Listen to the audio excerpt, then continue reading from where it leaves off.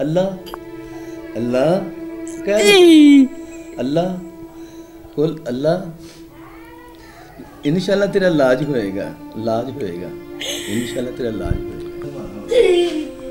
ਉਹ ਰੋਈਦਾ ਨਹੀਂ ਰੋਇਆ ਪਾਗ ਦੀ ਮੁਕਦੇ।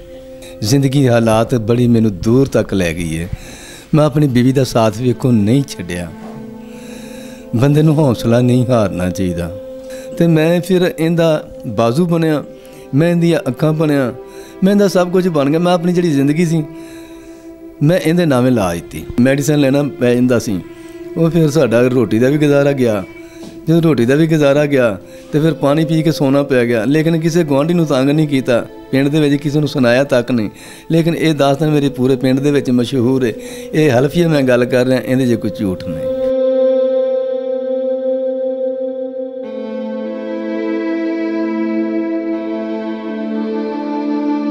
वालेकुम, आप देख रहे हैं उसाफ डिजिटल। मैं हूँ ज़ुबैर नाजरीन, ये लाहौर का इलाका ठोकर न्याज बेग है, जिसके आज एक मैं छोटे से घर में मौजूद हूँ।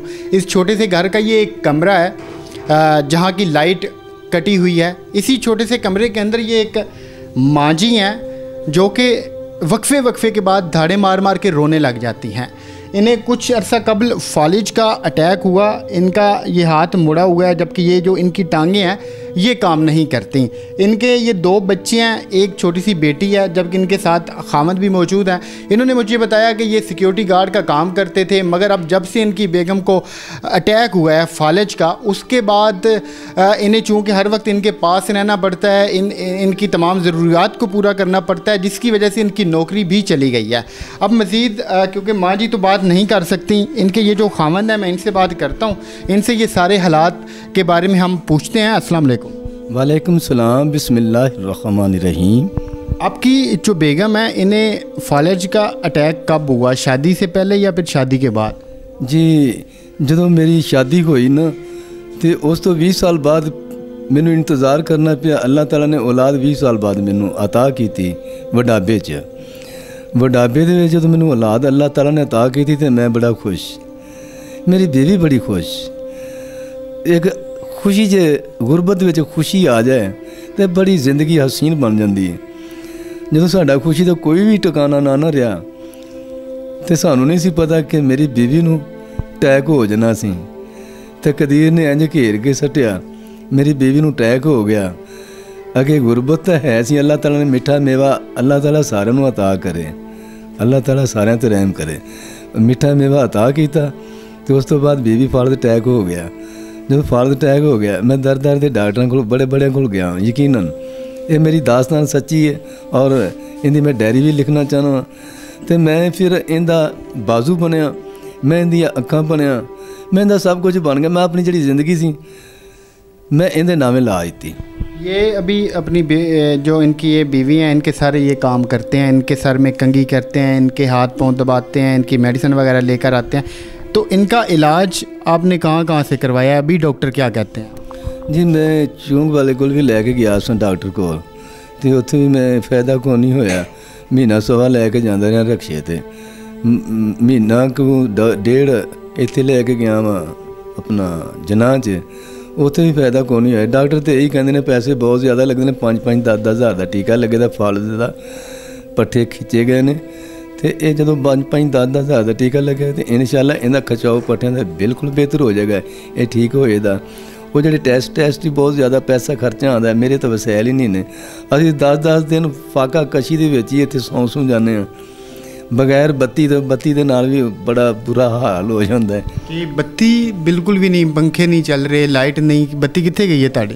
ਬੱਤੀ ਜੀ ਮੀਟਰ ਹੀਗਾ ਸੀ। ਉਹ ਜਿਹੜੇ ਚਾਰਾਂ ਨੇ ਮੈਂ ਕਮਾਉਂਦਾ ਸਾਂ।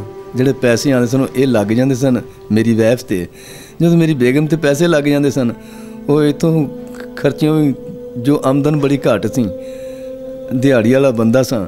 ਉਹ ਫਿਰ ਕਿੱਥੇ ਕਿੱਥੇ ਮੈਂ ਪੂਰੇ ਕਰਦਾ। ਕਦੀ ਬਲੱਡ ਤੇਜ਼ ਹੋ ਜਾਣਾ, ਕਦੀ ਸ਼ੂਗਰ ਲੋ ਹੋ ਜਾਣੀ, ਕਦੀ ਫਾਲਤ ਅਟੈਕ ਜਨਾਬ ਇਹਦੀ ਵਜ੍ਹਾ ਤੋਂ ਦਵਾਈ ਮੈਡੀਸਨ ਲੈਣਾ ਪੈ ਜਾਂਦਾ ਸੀ। ਉਹ ਫਿਰ ਸਾਡਾ ਰੋਟੀ ਦਾ ਵੀ ਗੁਜ਼ਾਰਾ ਗਿਆ। ਜਦੋਂ ਰੋਟੀ ਦਾ ਵੀ ਗੁਜ਼ਾਰਾ ਗਿਆ ਤੇ ਫਿਰ ਪਾਣੀ ਪੀ ਕੇ ਸੋਣਾ ਪਿਆ ਗਿਆ ਲੇਕਿਨ ਕਿਸੇ ਗਵਾਂਢੀ ਨੂੰ ਤੰਗ ਨਹੀਂ ਕੀਤਾ। ਪਿੰਡ ਦੇ ਵਿੱਚ ਕਿਸੇ ਨੂੰ ਸੁਣਾਇਆ ਤੱਕ ਨਹੀਂ। ਲੇਕਿਨ ਇਹ ਦਾਸਤਾਨ ਮੇਰੇ ਪੂਰੇ ਪਿੰਡ ਦੇ ਵਿੱਚ ਮਸ਼ਹੂਰ ਹੈ ਇਹ ਹਲਫੀਆ ਮੈਂ ਗੱਲ ਕਰ ਰਿਹਾ ਇਹਦੇ ਜੇ ਕੋਈ ਝੂਠ ਨਹੀਂ ਇਹ ਕੋਈ ਗੱਲਬਾਤ ਕਰਦੇ ਨੇ ਬੋਲਦੇ ਨੇ? ਥੋੜਾ ਜਿਹਾ ਕੋਈ ਗਨਾ ਦਿਓ। ਗਾਣਾ ਸੁਣਨਾ ਹੋਵੇ ਤੇ ਫਿਰ ਥੋੜਾ ਜਿਹਾ ਉਹ ਅੱਲਾ ਕਹੇ। ਅੱਲਾ ਅੱਲਾ ਅੱਲਾ ਕਹੇ। ਅੱਲਾ ਕੁਲ ਅੱਲਾ। इनशाला तेरा लाज होएगा लाज होएगा इनशाला तेरा लाज होएगा। अब ये इनकी कंडीशन देख सकते हैं कि ये अभी तक रो रही हैं और पट्ठा पट्ठा इनका खिंचा गया है लत्त का पट्ठा खिंचा गया। है मेरे ख्याल तीन साल हो चले ने। तो ये ऐसे ही रोती रहती हैं? नहीं बड़ी खुश मिजाज दी है बड़ी खुश मिजाज दी जो तुम आ जाते तो मैं अपनी दुखी दास्तान सुनाना ਤੇ ਇਹ ਫਿਰ ਆਟੋਮੈਟਿਕ ਰੋਣਾ ਸ਼ੁਰੂ ਕਰ ਦਿੰਦੀ ਹੈ। ਵੈਸੇ ਤਾਂ ਬੜੀ ਹਸਮੁਖ ਹੈ। ਜੀ। ਹੁਣ ਤੁਸੀਂ ਕਿਧਰੇ ਨੌਕਰੀ ਕਰ ਰਹੇ ਹੋ ਜਾਂ ਨਹੀਂ ਕਰ? ਜੀ ਮੈਂ ਨੌਕਰੀ ਕਿਵੇਂ ਕਰਾਂ? ਮੈਂ ਇਹਨੂੰ ਕਿਵੇਂ ਛੱਡ ਕੇ ਜਾ ਸਕਣਾ ਵਾਂ? ਮੈਂ ਭੁੱਖਾ ਮਨਜ਼ੂਰ ਕਰ ਲੈਣਾ ਵਾਂ। ਮੈਂ ਫਾਕਾ ਕਸ਼ੀਆਂ ਕਰ ਲੈਣਾ ਵਾਂ। ਲੇਕਿਨ ਇਹਨੂੰ ਕੌਣ ਪਾਣੀ ਪਿਆਏਗਾ? ਇਹਨੂੰ ਸਭ ਇਹਦਾ ਸਭ ਕੁਝ ਕੌਣ ਕਰੇਗਾ? ਇਹਨੂੰ ਵਾਸ਼ਰੂਮ ਦਾ ਟਾਈਮ ਕੌਣ ਨਹੀਂ? ਕੌਣ ਕੱਪੜੇ ਧੋ ਕੇ ਦੇਗਾ? ਆਟਾ ਕੌਣ ਗੁੰਨ ਕੇ ਦੇਗਾ? ਬੱਚੇ ਸਾਰੇ ਤੁਹਾਡੇ ਛੋਟੇ ਨੇ ਜਾਂ ਕੋਈ ਵੱਡਾ ਵੀ ਆ? ਬੱਚਾ ਵੱਡਾ ਨਹੀਂ ਬੱਚੇ ਛੋਟੇ ਨੇ ਮੇਰੇ। ਜੀ। ਇਹਨਾਂ ਦੇ ਜਿਹੜੇ ਭੈਣ ਭਰਾ ਨੇ ਜਾਂ ਤੁਹਾਡੇ ਨੇ, ਉਹ ਕਿੱਥੇ ਨੇ? ਇਹਦੀ ਵਾਲਦਾ ਵਾਲਦਾ ਫੌਤ ਹੋ ਗਏ ਨੇ। ਇੱਕ ਦੋ ਭਰਾ ਹੀ ਗਏ ਨੇ। ਲੇਕਿਨ ਉਹ ਇਹ ਤੋਂ ਬਹੁਤ ਜ਼ਿਆਦਾ ਦੂਰ ਰਹਿੰਦੇ ਨੇ। ਕਮ ਸੋ ਕਮ ਉਹ ਪਿੰਡੀ ਪੱਟੀਆਂ ਦਾ ਇਲਾਕਾ ਹੈ, ਜਿੱਥੇ ਉੱਥੇ ਜਨਾਬ ਖੇਤੀਬਾੜੀ ਕਰਦੇ ਨੇ। ਲੇਕਿਨ ਉਹ ਵਿਚਾਰਾ ਪੰਜ ਪੰਜ, ਸੱਤ ਸੱਤ ਬਾਲ ਨੇ। ਝੁਗੀਆਂ ਪਾ ਕੇ ਦੁਹਾਣੇ ਲਾ ਰਹੇ ਨੇ। ਆਪਣਾ ਦੁਹਾਣੇ ਦਾ ਕਾਰੋਬਾਰ ਕੀਤਾ ਹੈ। ਲੇਕਿਨ ਉਹ ਇੰਨਾ ਖਾਸ ਵਿਚਾਰਿਆਂ ਦਾ ਕਾਰੋਬਾਰ ਨਹੀਂ ਹੈਗਾ। ਜਿਹੜਾ ਆਪਦੀ ਭੈਣ ਨੂੰ ਕੋਈ ਰਿਲੀਫ ਦੇ ਸਕਣ ਜਾਂ ਇਹਦੇ ਤੇ ਮਾਰ ਮਿਟ ਸਕਣ ਨਹੀਂ ਇਹਨੇ ਇਸ ਕਾਬਲ ਨਹੀਂ ਹੈਗਾ। ਹੁਣ ਤੁਸੀਂ ਸਾਡੇ ਵੇਖਣ ਵਾਲਿਆਂ ਨਾਲ ਕੀ ਮੁਤਾਲਬਾ ਕਰੋਗੇ? ਮੈਂ ਤਾਂ ਜੀ ਇਹ ਹੀ ਮੁਤਾਲਬਾ ਸਭ ਤੋਂ ਵੱਡਾ ਮੇਰਾ ਮੁਤਾਲਬਾ ਜੀ ਇਹ ਹੈ। ਜ਼ਿੰਦਗੀ ਹਾਲਾਤ ਬੜੀ ਮੈਨੂੰ ਦੂਰ ਤੱਕ ਲੈ ਗਈ ਹੈ। ਮੈਂ ਆਪਣੀ ਬੀਵੀ ਦਾ ਸਾਥ ਵੇਖੋ ਨਹੀਂ ਛੱਡਿਆ। ਬੰਦੇ ਨੂੰ ਹੌਸਲਾ ਨਹੀਂ ਹਾਰਨਾ ਚਾਹੀਦਾ। ਚਾਹੇ ਇਨਸਾਨ ਦੇ ਉੱਤੇ ਦੁੱਖ ਸੁੱਖ ਜਿੰਨਾ ਵੀ ਆ ਜਾਏ ਹੌਸਲਾ ਨਹੀਂ ਹਾਰਨਾ ਚਾਹੀਦਾ ਬੰਦੇ ਨੂੰ। ਇਸੇ 'ਚ ਹੀ ਰੱਬ ਦੀ ਤਰਫੋਂ ਸਭ ਕੁਝ ਹੁੰਦਾ ਹੈ। ਅੱਲਾਹ ਤਾਲਾ ਦੀ ਰਜ਼ਾ ਤੇ ਖੁਸ਼ ਹੋਣਾ ਚਾਹੀਦਾ। ਅੱਲਾਹ ਤਾਲਾ ਦਾ ਹਰ ਟਾਈਮ ਸ਼ੁਕਰੀਆ ਅਦਾ ਕਰਨਾ ਚਾਹੀਦਾ। ਲੇਕਿਨ ਬੀਬੀਆਂ ਤੇ ਕੋਈ ਜ਼ੁਲਮ ਨਾ ਕਰੇ। ਬੱਚੀਆਂ ਤੇ ਕੋਈ ਜ਼ੁਲਮ ਨਾ ਕਰੇ। ਜਦੋਂ ਬੀਵੀਆਂ ਤੋਂ ਛੱਡ ਕੇ ਇਨਸਾਨ ਚਲਾ ਜਾਂਦਾ ਹੈ, ਕਿਸੇ ਦੀ ਬੇਟੀ ਵੇਚ ਕੇ ਜਾਂਦੀ ਹੈ ਤੇ ਉਹਦੇ ਤੇ ਸਾਈਂ ਕਿਉਂ ਜ਼ੁਲਮ ਕਰਦਾ ਹੈ?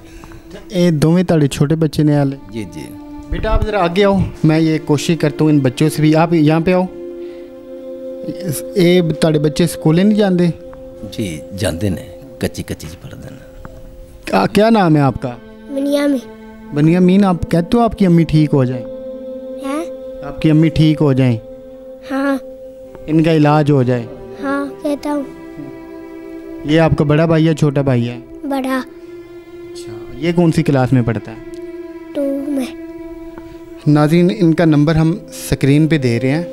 आप उस नंबर पे इनसे रबता करें। आप में से कोई भी शख्स जो इनका इलाज करवाना चाहता है आप में से कोई भी शख्स जो इनको फिर से कोई नौकरी दे जिसकी वजह से ये अपने घर का सर्कट चला सकें। क्योंकि अभी इनके घर में खाने पीने को कुछ नहीं है, लाइट इनकी वैसे नहीं है यहाँ पे। ये सारी बातें इन्होंने हमें बताई हैं, अभी आपने भी सुन ली हैं। तो इनका नंबर दे रहे हैं, आप इस नंबर पर रबता करें इनसे। मेरी गुजारिश है कि साड़ी हेल्प की जाए। साड़ी ये कोई अपना नौ टंकी नहीं। ये हकीकत है मेरी कहानी यार, इनू सीरीयस लिया जाए। साढ़े हालात ਤੇ ਤੇ ਅੱਲਾਹ ਤਾਲਾ ਉਹਨੂੰ ਬੜਾ ਨਵਾਜ਼ੇਗਾ ਸੋਹਣੇ ਨਬੀ ਦੇ ਸਦਕੇ ਪੰਜ ਤਨ ਪਾਕ ਦੇ ਸਦਕੇ ਕਿ ਸਾਡੇ ਹਾਲਾਤ ਨੂੰ ਵੇਖ ਕੇ ਜੇ ਕਿਸੇ ਨੂੰ ਯਕੀਨ ਆ ਜਾਏ ਤੇ ਕਿ ਵਾਕਈ ਸੱਚੀ ਕਹਾਣੀ ਹੈ ਇਹ ਮੁਹੱਬਤ ਦੀ ਦਾਸਤਾਨ आप इस नंबर पे रबता करें आप यहाँ पे ठोकर न्याज बेग आएँ इनका घर देखें इनके हालात देखें आप ये माँ जी को देखें उसके बाद अगर आप मुतमिन हो आपसे जितना हो सके आप अपनी आखिर संवारने के लिए इनकी हेल्प कीजिएगा आ, इन्होंने हमें बुलाया अपने पास, हमने इनकी आवाज़ आप तक पहुँचा दी है। अब जो आपका फ़र्ज़ है, वो आपको पता है। अपनी दुआओं में इनको याद रखिएगा। मिलते हैं किसी और वीडियो में। अल्लाह हाफिज़।